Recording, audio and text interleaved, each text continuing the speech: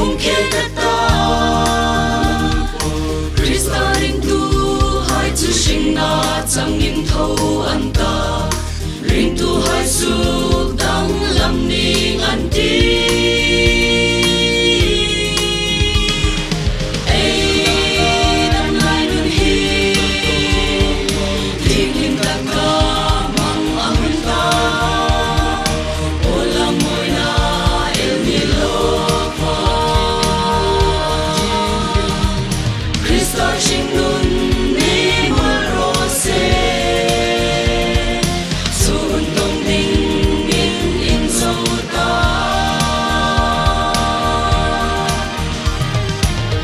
sân hai chân bùi na ra ta gần.